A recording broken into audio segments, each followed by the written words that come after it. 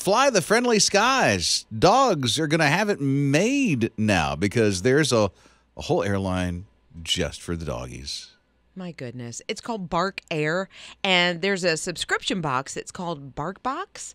I've never gotten it for my doggies, but they send you all these different things every uh, month for a price, of course. Well, they have started this airline, and it is literally for the dogs. A person, a human person, can um, ride along, fly along with the dog. I guess at no cost, they say. Uh-huh. But it's from somewhere in New York. That's where it's going to originate. So you can either fly from New York to London or New York to LA.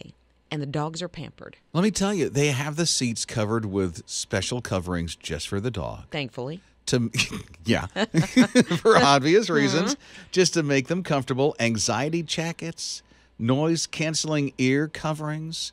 They they have dog fly first vests, calming music, soothing colors. They're thinking of everything with Bark Air. They're even pumping in the pheromones to calm the dogs down. The what moans? like the so people put off pheromones so do i guess animals i don't i don't really know but they're it's like a scent it's sort of like a a subconscious scent Oh, maybe or know. something and so it's to calm the dogs down now here's the thing i'm like okay that sounds like fun you know let's see what that's all $6000 for a flight for a ticket for the dog.